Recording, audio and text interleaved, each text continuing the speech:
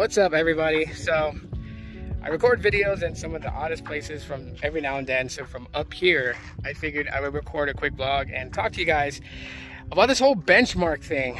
So uh, I dropped two videos basically talking to you guys about the rumored benchmark scores for the Google Pixel 10, uh, the Tensor G5 basically. And um, yeah, the two videos, it was comparing supposedly, you know, supposedly scores benchmarks from like Geekbench 6 and Antutu, and it was comparing it to like the Snapdragon 8 Gen 3 and the Snapdragon 8 Elite.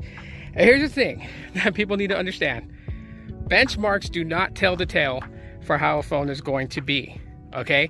It gives you an idea, maybe just how good or maybe just how rough the processor might be, but mostly at the end of the day, it really boils down to user experience.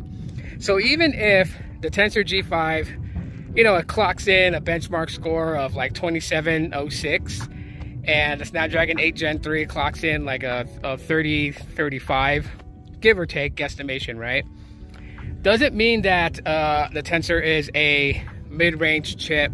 And I really, I really think that people should stop doing that when it comes to, uh, you know, just making um, assumptions.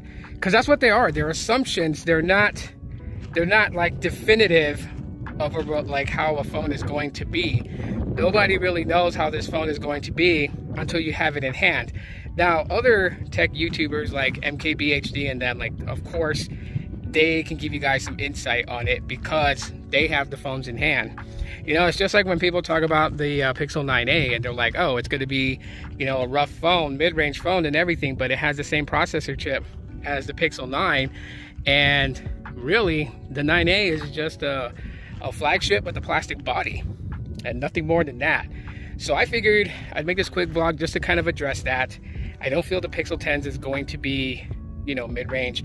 I don't feel like it's going to yield such a bad experience. And benchmarks definitely do not tell the tale.